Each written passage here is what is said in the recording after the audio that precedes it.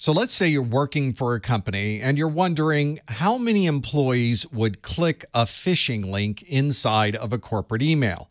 If you're not sure, there is a way to figure this out. You would run your own phishing campaign.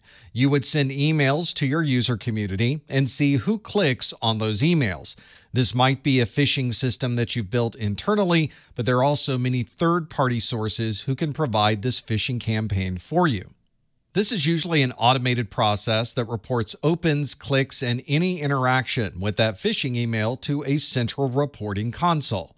If a user does click a phishing link, they receive an automated email stating that they made a mistake when they clicked that link and they would need to go to additional training. This training may be something the user can perform online, or there may be in person training at the corporate facilities.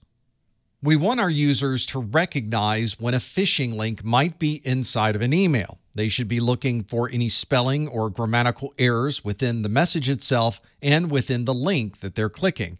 We want our users to look at the domain name associated with that link, and they should look to see if there are inconsistencies in how this email is constructed. There might be unusual attachments connected to the email, which would certainly be a sign of phishing, and we should see if the email is requesting any personal information or login credentials. If you're receiving these phishing attempts from outside, this is also a good chance to see if your email filtering process is working the way you would expect. Ideally, that filter would be blocking any of these phishing attempts before they ever made it into a user's inbox. We should also make sure that our users know to never click a link inside of an email and to never run an attachment from inside of an email. We want to make sure that everyone in the organization understands what a phishing email looks like and are able to recognize if they happen to see one in their inbox. There should also be a well known process within your organization for reporting any suspected phishing emails to the IT security team.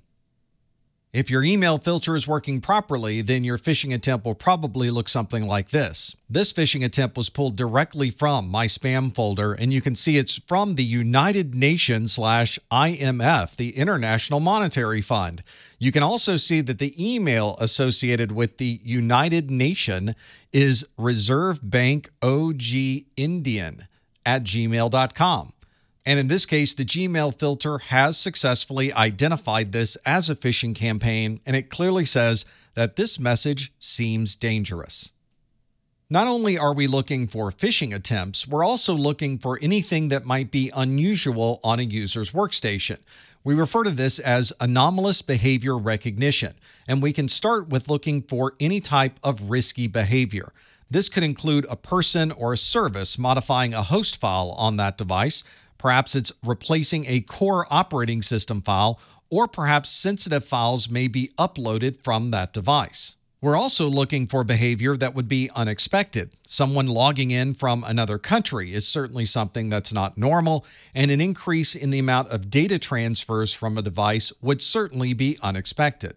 And then, of course, we want to look for any behavior that may be unintentional. For example, someone typing in the wrong domain name would simply be an unintentional mistake.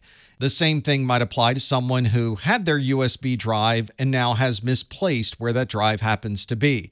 Or perhaps the security settings on a device have been misconfigured. All of these are human error and would clearly be put into the category of unintentional behavior. A security team is not going to be aware of these issues unless they're constantly monitoring and reporting on these types of events. This needs to be an automated process where alerts are automatically sent to the security team and reports are generated automatically every day. This might include information about phishing click rates, password manager adoption, multi factor authentication use, and other important security metrics.